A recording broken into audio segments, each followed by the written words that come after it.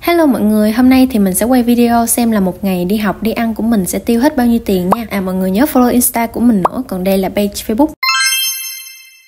Sáng hôm nay thì mình có hẹn với mấy đứa bạn của mình đi ăn sáng. Cũng lâu lắm rồi mình chưa có đi ăn sáng quận 1 nữa. Mình đi hôm nay là có cả bạn từ cấp 3 và bạn đại học luôn. Càng đông càng vui, he he. Ở đây là bánh căn bùi viện nha. Mình cực kỳ thích ăn bánh căn chỗ này luôn, tại vì nó ngon. Ơ, có con mèo nè. Trời thấy nó bò trên đó mà hú hồn luôn á. Tada, đây là một phần bánh căn nè. Sẽ có nước chấm và 10 cái bánh. Một phần như thế này giá là 35 ngàn, Có sẵn hai cục xíu mại luôn. Do đợi hơi lâu nên là vẫn chưa ra đủ món á. Mỗi lần mà đi ăn sáng như thế này là mình phải dậy từ rất là sớm. Tại vì đi trễ thì ở đây nó sẽ đông lắm. Ăn xong thì tụi mình sẽ ghé qua nhà thờ Đức Bà để uống cà phê bệt. Mấy ly này đều đồng giá 25 ngàn hết. Vậy là sáng giờ tổng bữa ăn của mình sẽ là 60 ngàn Cà phê bệt là mình sẽ mua nước xong rồi trải mấy cái miếng bạc ngồi ở bên công viên chơi vậy á. Nhưng mà mình quên quay mất tiêu rồi. Giờ thì tụi mình đang đi bộ qua công viên nè Cũng kế bên đây thôi, một phút là tới.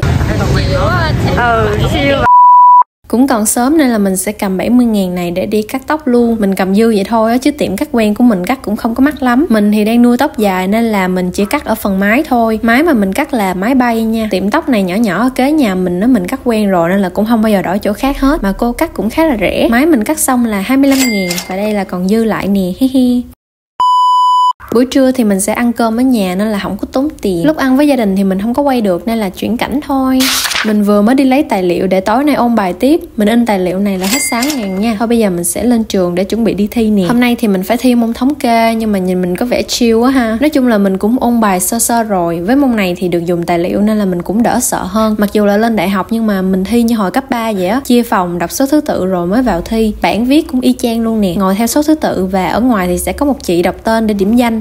A few moments later. Thi xong rồi, mình làm bài chỉ có 25-30 phút thôi nên là được ra khá là sớm nên là mình sẽ đi ăn. Mà đi ăn vặt thôi tại vì cũng chưa có đói lắm. Đây là quán bánh flan gì chi ở quận 7 nha. Trời ơi, ở đây nó cho một đống cái menu không biết lựa món nào luôn á.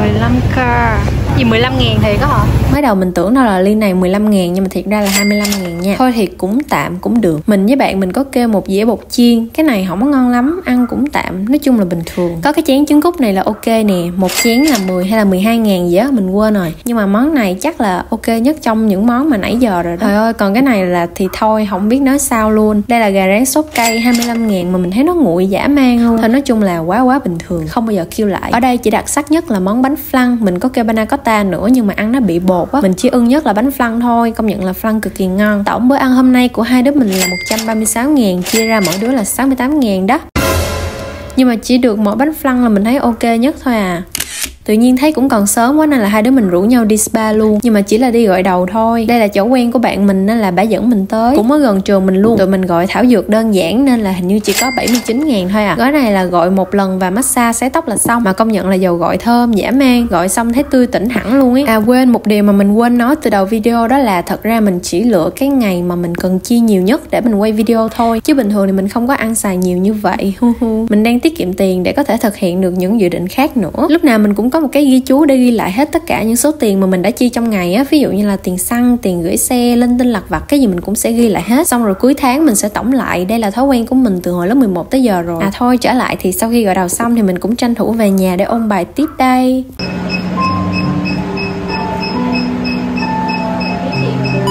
Vì mình vẫn còn một môn thi cuối ở nhà hơi khó tập trung nên là mình sẽ ra cà phê học bài một mình luôn. Mà công nhận là chỗ này yên tĩnh, dễ học thiệt. Mình order một ly sinh tố cam xoài. Giá ly này là 59 ngàn, uống cũng khá là ngon. Nhưng mà chủ yếu là mình mua không gian để ngồi học thôi. Tính ra thì mình sợ môn thống kê, nhưng mà mình làm bài cũng khá là ok.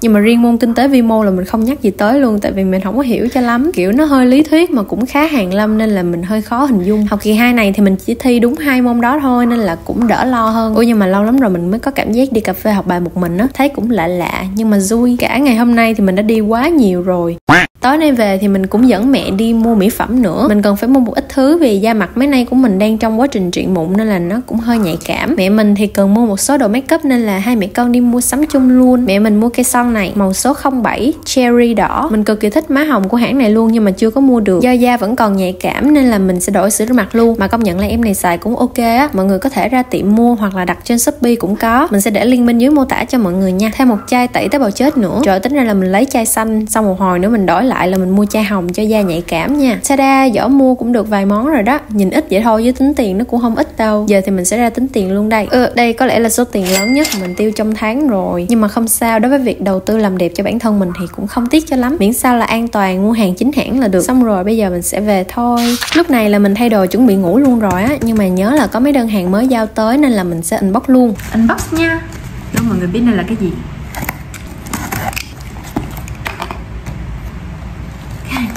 Cái này là cái khuôn silicon cái này là thước dây dùng để đo.